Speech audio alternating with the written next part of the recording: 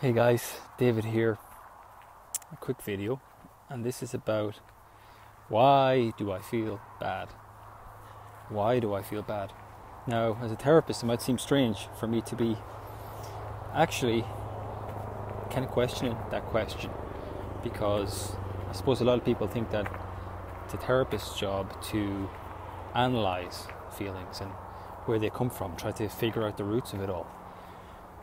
But and there is a place for that, you know. There is a place for that in healing and in psychotherapy.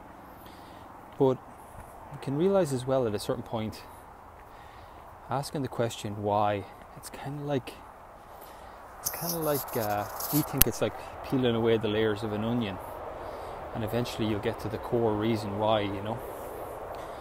But it's kind of uh, a never-ending onion. I'm trying to think of a better analogy.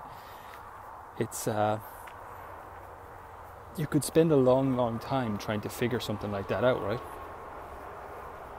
Why I feel anxious, why I feel bad, rather than checking in with the feeling itself.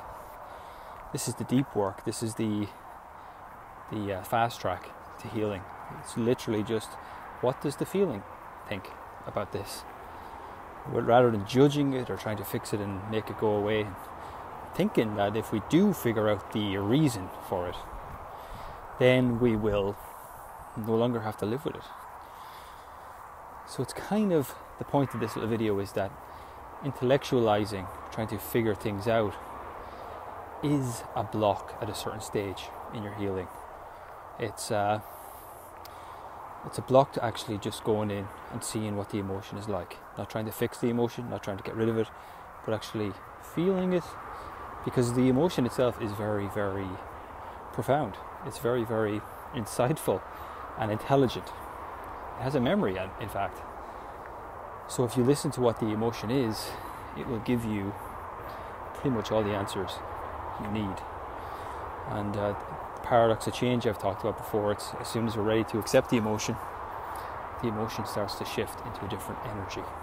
So, wherever you are now, watching this video of me out for a little stroll, the point is to not try to fix any feeling.